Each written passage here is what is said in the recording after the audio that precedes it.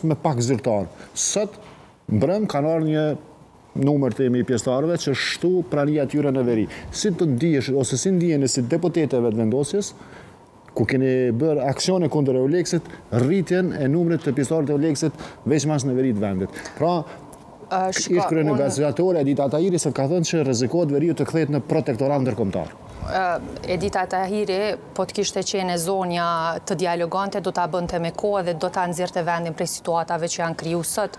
Kështu që mos t'i mos t'i shfrytëzojnë këto momente që janë tensionuese e të dalin në skenë të tregojnë që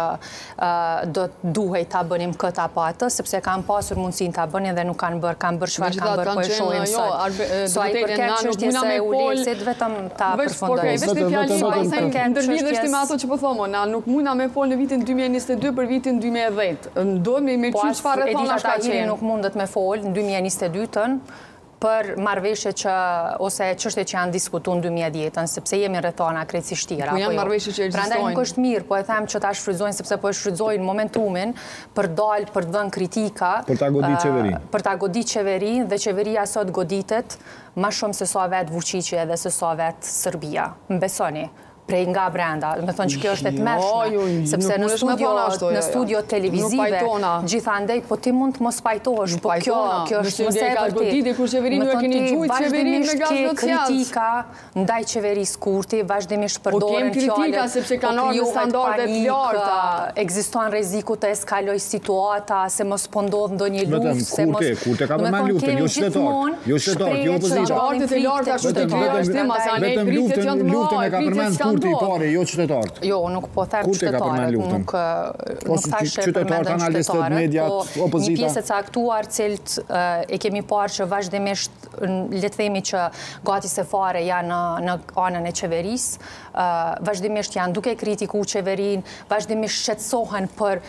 Gjoja mos integrimin e serbëve në veri, shqetësohen për faktin që po krijohen këto situata, ndërkohë që nuk janë të gatshëm ta marrin po, përgjegjësinë sepse për këtë situatë ka përgjegjësi edhe opozita po, njëjtë sikurse edhe na. Uh, unë uh, sa i përket EULEX-it, uh, unë jam shumë e bindun që kur të është puna me reagu në zonën e veriut, ne i kemi forcat tona që janë të vendosur atje dhe që reagojnë edhe njëjtën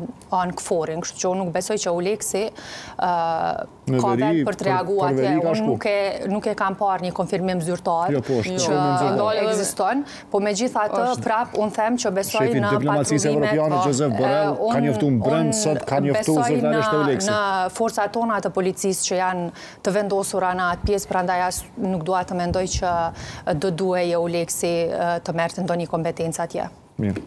Faleminderit shumë zonja Kryeziu Hyseni, që ishe mysafir në Info dhjetë. Faleminderit shumë zonja Maliqi. Gjithashtu. Faleminderit edhe prej jush të nderuar shikues për vëmendje, si zakonisht pas pak vjen emisioni Fakt lajmet qendrore në Kanal dhjetë nga ora 18:30 për më shumë rreth situatës dhe krizës në veri të vendit, emisioni Politiko me Kushtim